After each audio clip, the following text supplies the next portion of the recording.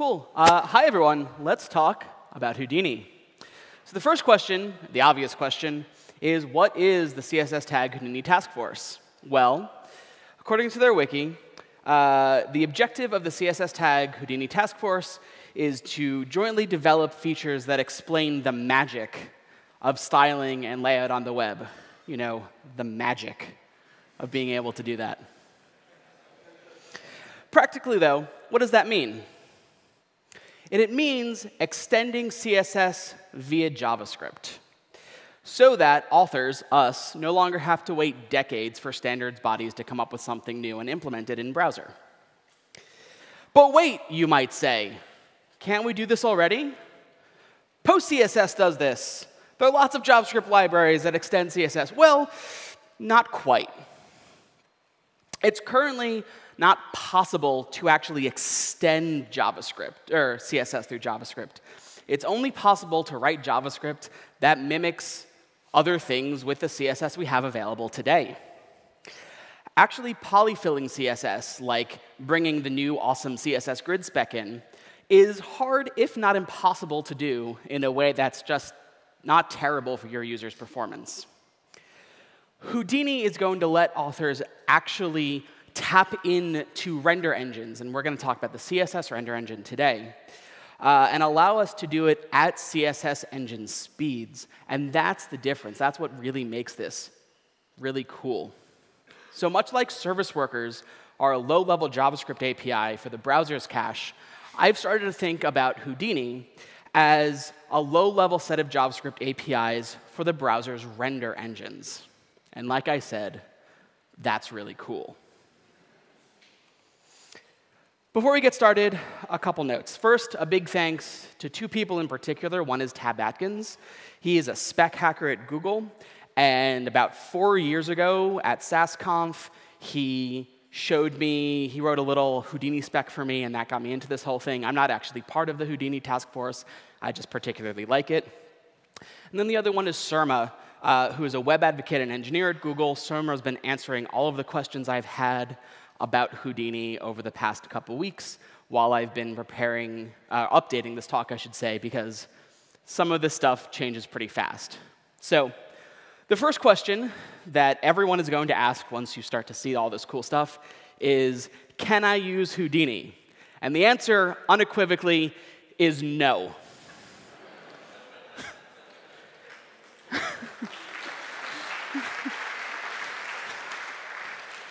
you absolutely can't.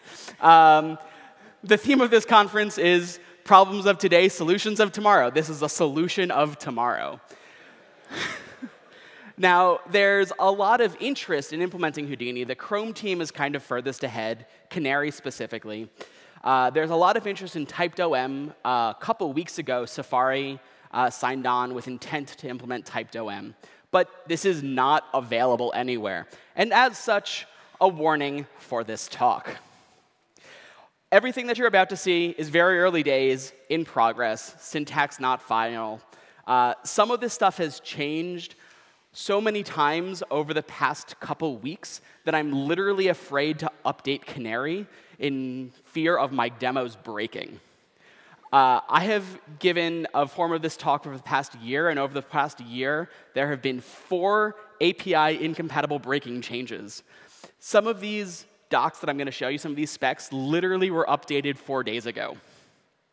So, some of this is speculative, some of this might not work as the final syntax. Terms and conditions apply. You don't get your money back for this. Uh, your mileage may vary. But anyway, let's talk about it anyway, because it's lots of fun. The first and the really cool bit is worklets. Worklets are like itty bitty web ish workers. Worklets allow us to actually extend render engines. They're kind of like web workers, but they work with a very, very isolated scope to the point where they don't have access to self or this. Uh, they're designed to be parallelized and uh, run on multiple threads and they live on the global scope for the render engine to use not for us as authors to use. It looks a little bit something like this. We have our window object in our browser JavaScript, and we have a worklet, and then we can add a module. Add module will go point to a local script, kind of like how service workers work, and then it'll load that module. But instead of loading that module into our main thread, it's going to load it into different threads, separate threads that are specifically worklet threads. Uh, the worklets will be loaded in, on, into two or more uh, worklet threads, again, separate from the main thread, separate from where our JavaScript runs. And then the browser will call them as needed. Add module is also a promise. So every time we add a module, we can then off of it so that we can work with worklets after they've been loaded. And one of the examples I'm going to show later on shows why that's important. The actual worklet itself is a script that looks a little bit like this. There's a function that's register whatever the worklet name is with a name that you give it, and then a class, a, JavaScript class. Each worklet is going to define one or more process methods for that class. Process, the name of the actual process will depend on the worklet. And that's the thing that the browser, the render engine, is going to invoke when it wants to use that worklet. Can take in custom or optional arguments, might return stuff, might just work directly on the objects that get passed in. Kind of depends on the worklet. So let's look at this life cycle. We start with our render engine. Our render engine has a main thread and then it also spins up worklet threads. All these worklet threads are separate threads isolated from the main thread. That means they don't affect the main thread's performance. If there's an error, they don't affect the main thread. From our main thread, our browser JavaScript gets called. Our browser JavaScript will go run whatever we want it to run. And as part of that, we can invoke worklet.addModule. If we invoke worklet.addModule, it will go, it will grab our worklet, and then it'll load that worklet. Instead of loading it into the main thread, it loads it into, like I said, two or more of these worklet threads. Finally, when we want to go and actually invoke it, the render engine will call whatever that process uh, method is on our worklet to go and run it from one of the worklet threads. Worklets are the underlying foundation for which all of Houdini is based. They're the magic that makes it happen. They are Houdini's secret sauce. The next big thing that Houdini introduces is the typed OM, aka CSSOM v2, the new hot list, or big CSS if you like it that way. From their wiki, converting CSS object model values, or strings, I should say, into meaningfully typed JavaScript representations and back incurs a very large overhead. This specification exposes CSS values as typed JavaScript objects to facilitate their performant manipulation. The typed OM, it provides this new structure, this new class for JavaScript that we can actually use to understand our CSS uh, representations meaningfully. And this new class is the CSS style value class. And it has a bunch of subclasses. It has the CSS keyword subclass, which is our idents, our inherits, stuff like that. There's position values, which provide us with an x and a y. There are transform values and its subclasses like skew and rotate for transforms. There are CSS unit values, which are either a raw number, a number with a unit, or a raw percentage. Basic numbers, basically. And then there is CSS math value, which is kind of more complex uh, numbers, things like calcs and mins and maxes and sums.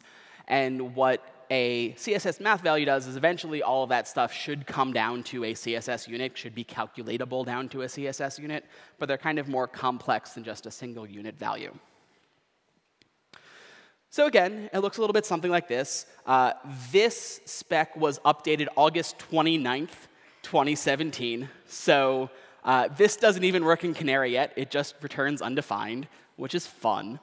Uh, but what we have here is we have an example class with a background position, center, bottom, 10 pixels. We can all intuitively, if we've worked with CSS, kind of figure out where that uh, lines up. We can get the typed OM representation of that by grabbing the element and then grabbing its attribute style map. That attribute style map is the typed OM. And then we can get off of that. So if we get the background positions x, we will get a CSS percentage that is 50, because it's centered. If we get its y, we get a CSS math value. That's a CSS percentage, uh, it's a math value that's a sum of 100% and negative 10 pixels. That brings it to the bottom and scoots it up 10 pixels. So we now have a typed representation of the actual position that this item's in. The typed OM provides uh, an underlying foundation to meaningfully connect our CSS and our worklets. If worklets are Houdini's secret sauce, then the typed OM are the chicken nuggets keeping our fingers dry. And mostly it's that because I really wanted to use this GIF, and I couldn't think of a better analogy using this GIF. That's fine. But yeah, what can I do with all this is probably the question you're asking. And the answer is you can do real rad stuff with this. So now we get to go play the live demo game. Let's talk about part one, the cool custom stuff. Please allow me to introduce you to window.css. Window.css becomes our new home for all the fabulous things that we can do with Houdini. So we start with CSS variables, which we really, really need to start thinking about as custom properties. And the reason we need to start thinking about them as custom properties is the current version of the spec will let us finally make snozzberries taste like snozzberries. What does that mean? Well, the current state of the world is we have my color, which is a CSS custom property or CSS value if you've or variable if you've heard of it that way. We set it to green. Then we have, uh, we reset it to a URL, and its URLs aren't a color. So when we go and try and use this in our color, everything is sad because URL's not a color, and these are stupid variables, and they don't know any better. But then we can actually register this property. So window.css.register property allows us to say, hey, look, I have this property. It's called this. Its syntax is this. Now that's definitely a color because we've told our render engine that this is a color. And because we know it's a color, that URL junk, it gets skipped because URLs aren't colors. So the full kind of syntax for register property is you have a name that's a string. You have the syntax, which is uh, a couple different options. I'm going to show you what those are in a second. And it defaults to allowing everything in. You can choose whether or not this property inherits up the DOM. And you can also set an initial value if you'd like. So let's take a look at what available syntaxes there are. There are length syntaxes. There's number, there's percentage, there's length percentage, which are things like calc. Uh, there's colors, images, URLs. There are integers, angles, times. There are resolutions, there are transform lists, and there are idents. You can also combine syntaxes in multiple ways to really create custom properties. So you can have an individual property. You can take a property that takes one or more different types using the pipe for or. You can have idents like big, bigger, all caps bigger. So if you want an ident that's awesome, you can literally write awesome, and then you're OK. Or you can have lists by appending a plus to the type that you're looking at. This is the live demo. So we have registered a property. Uh, its syntax is color. We're not going to have it inherit up the tree, and its initial value we're going to set to Rebecca Purple. So we have this pretty button. One of the advantages of registering properties is once you've registered a property, the render engine now understands how to transition this property because it understands what the type is. So if you see right now, if I hover over this registered button, it transitions. Nice, pretty but it gets uh, if we change from coffee to red, red works and I can transition. But even better, if I copy this URL, and again, URL's not a color. If I go and change registered color to that URL, you'll see it defaults to Rebecca Purple because registered property doesn't have a valid color in it, so it falls back to whatever the initial value is. This really truly allows us to create custom properties, which is fabulous. The second thing we're going to talk about is CSS Paint. Every day is a good day to paint, especially when you're painting in CSS. Have you ever wanted to use Canvas as a background image or a border image in CSS?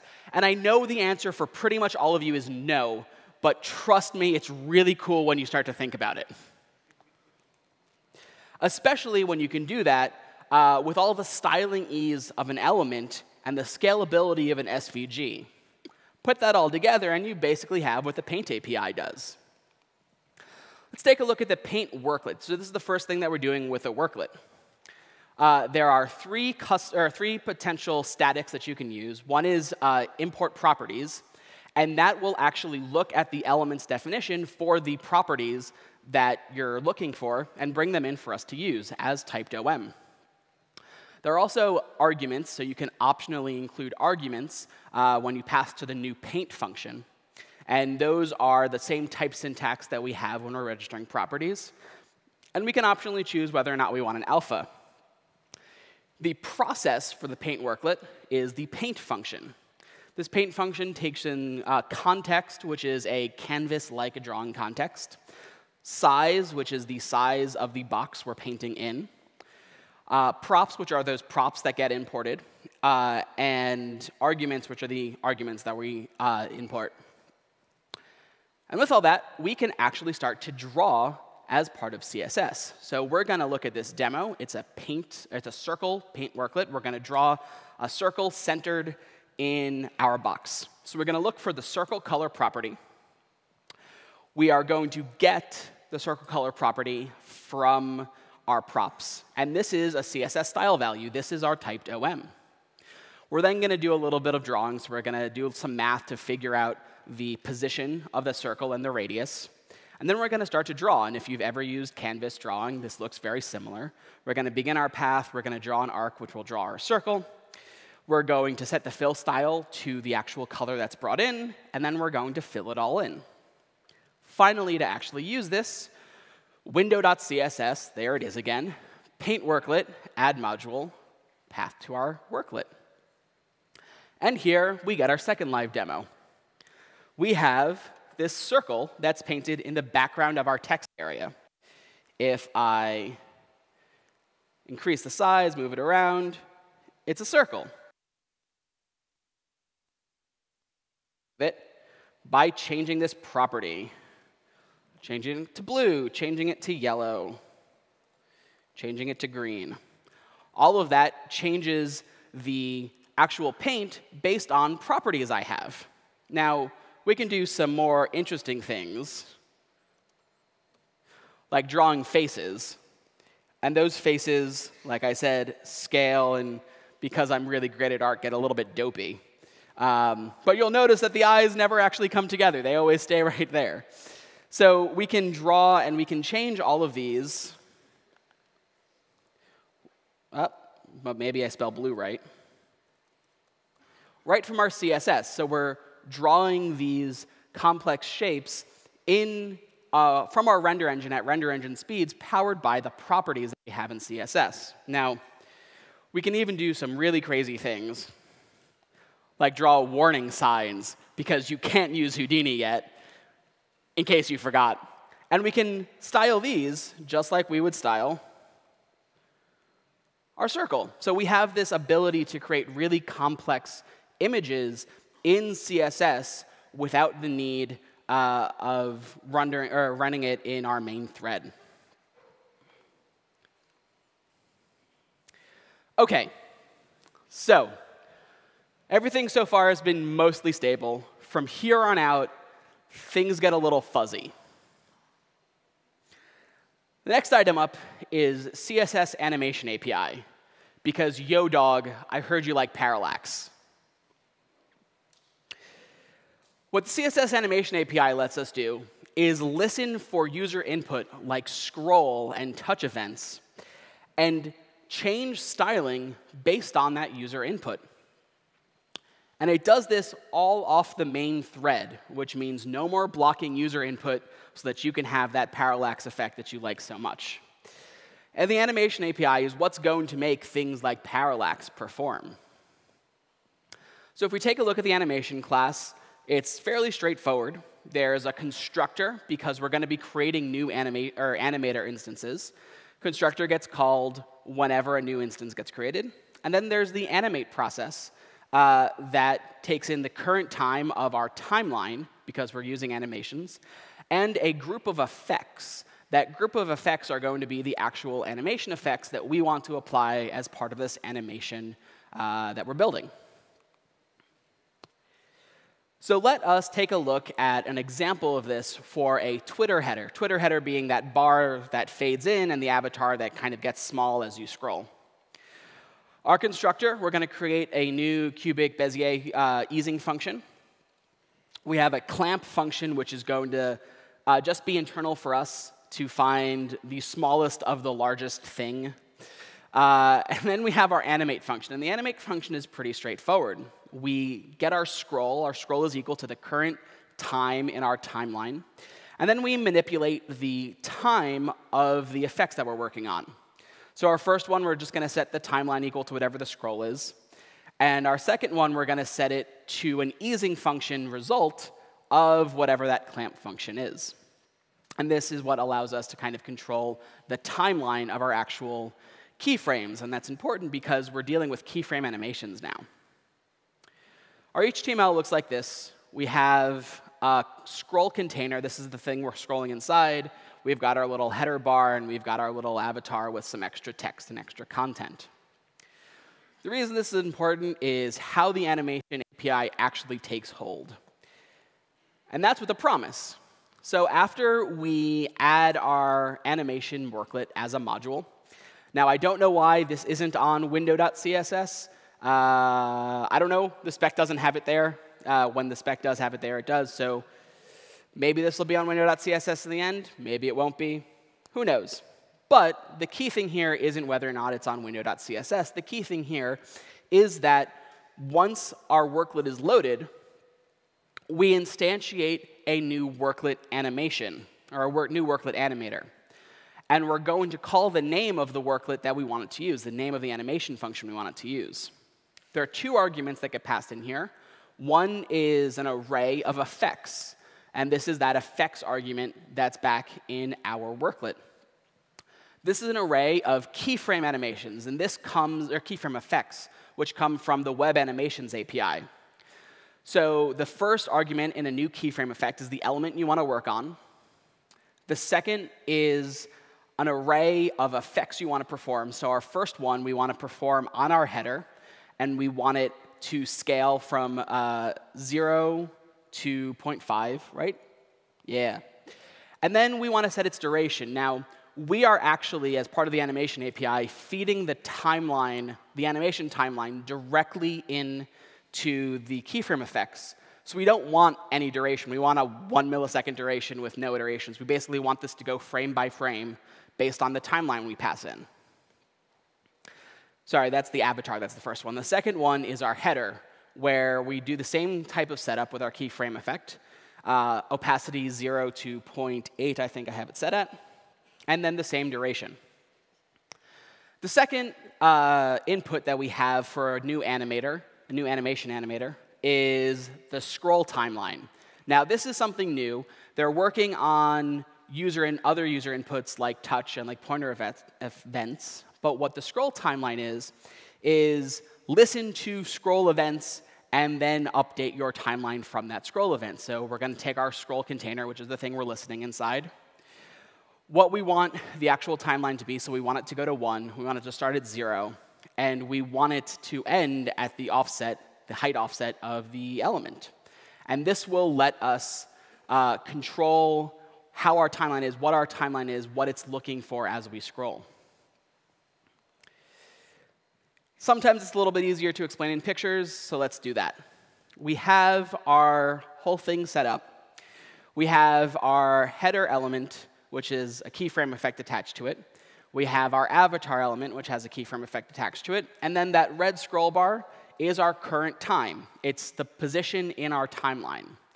As we scroll down, you'll see that the keyframe effects uh, change the look of the header and the avatar based on that position, based on that current timeline position, which comes from that scroll timeline. We can dive in and we can see an actual example of this uh, using a demo that Surma's put together. So as we scroll, you'll see that that header starts to fade in, and that avatar starts to get small.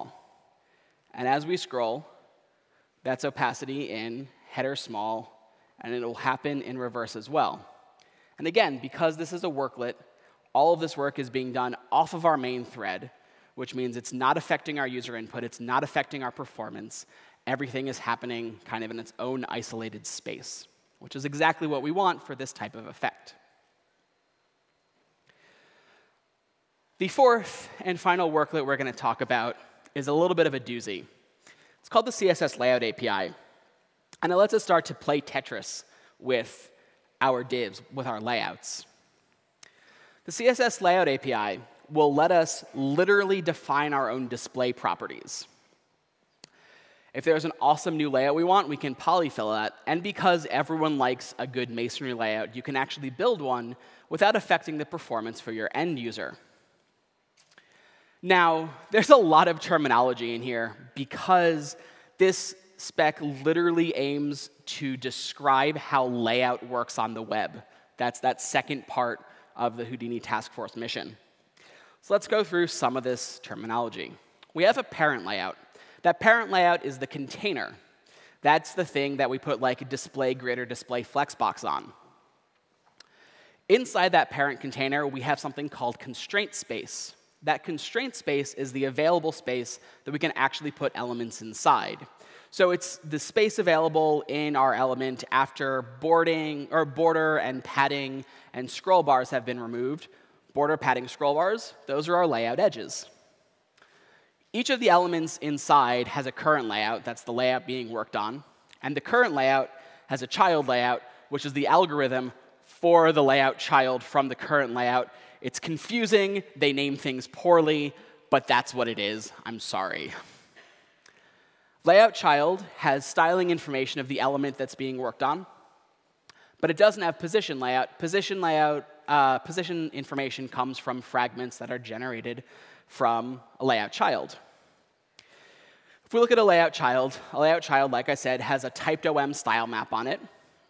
Uh, it can be generated from any block element, so block elements, uh, root inline boxes, so text uh, can generate layout children. It can be generated from before and after pseudo elements. And it can be generated from blockified elements that aren't really blockified, so like things that have display table cell but don't have a parent display table. They all also include this layout next fragment function that will generate a fragment from it. That fragment uh, includes inline size and block size, inline being uh, in parallel with the writing text block being in perpendicular. Those we can't change, those come from the render engine, but we can set inline offset and block offset. This is what lets us actually position our elements around. Finally, layout edges. I know this is a little bit big, but it has border, padding, scroll bar, the inline start, inline end, and full inline size, as well as block start, block end, uh, block size for all three of those items. And it also has all of the edges in the block and the inline direction. So let's take a look at the worklet now. The worklet has input properties that we want to get from the parent. So this is thing like, things like display grid or uh, grid column or grid template columns. And then there are also children properties that we might want to get, for instance, grid columns, grid rows. We can also decide whether or not all of the elements we want, or all of the children we want to be blockified, like in Flexbox and Grid, or whether we want them to just kind of keep whatever uh, blocking they already have. Now it takes, it has two methods. Uh, both are generators, so they can run in async and parallel. One is intrinsic size, and one is layout. And we'll kind of dive into these in a minute. So an example of kind of a block uh, layout that we currently might recognize looks something like this. We have intrinsic size, and this comes from the intrinsic size uh, spec. And what this will do is this will let us figure out, determine what the max size of a block is, so how big a block can be, so that all of the content's in there and there's no unused space, and how small it might be, which is uh, how small we can make that block without starting overflowing our content. And we return the min and the max from there. We then start to look at layout. So the first thing we're going to do is we're going to get the inline size of our element using a utility function that just figures out the inline size. We're going to figure out both the inline and the block size. We're going to use that inline and block size to generate a new constraint space to put our child layouts in. Our child layouts, we're going to loop over each one of our children and figure out or generate fragments from the constraint space in our parent. And then we start to laying stuff out. We're going to start laying stuff out where our block size starts, where all of our edges start. And then we basically loop over each one of our fragments, put it in position, add its height to the total block offset, and then center it based on its inline size.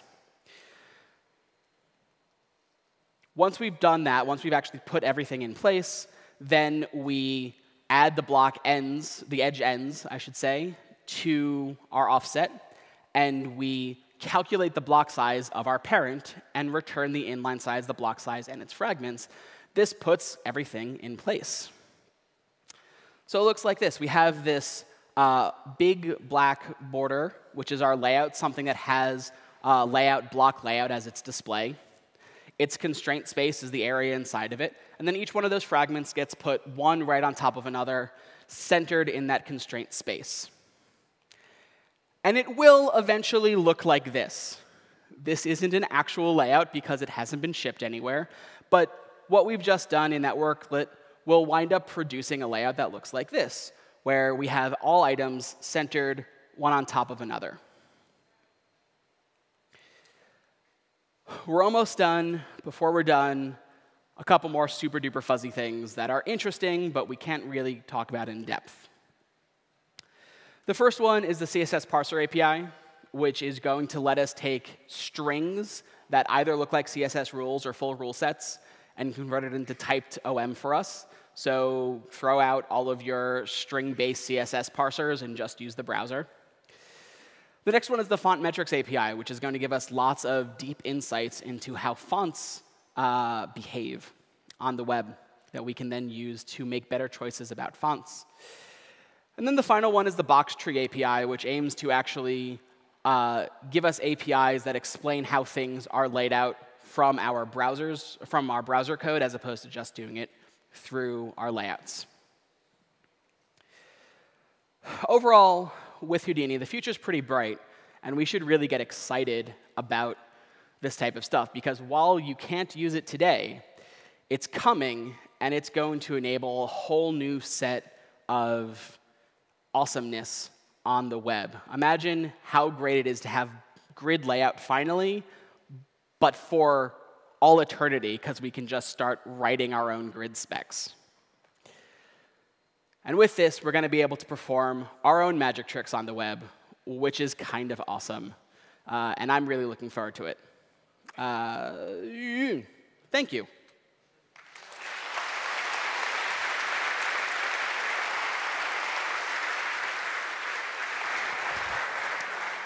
Thank you, Sam. That was really, really exciting. Um, first question Can I use this yet?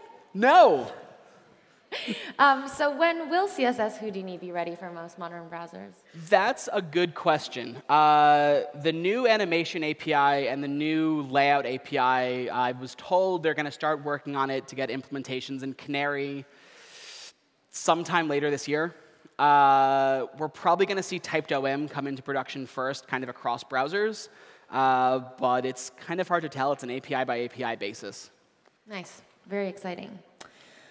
Worklets being basically render hooks, is there a limitation about rendering time? Are they killed by the browser after a predefined execution time? Yes, they are. So if a render, uh, if a worklet takes too long to render, then the render engine will just skip the frame that the worklet's trying to paint and then keep going.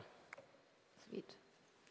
Debugging CSS is really annoying. Are there any new strategies or ideas to improve the dev experience with Houdini?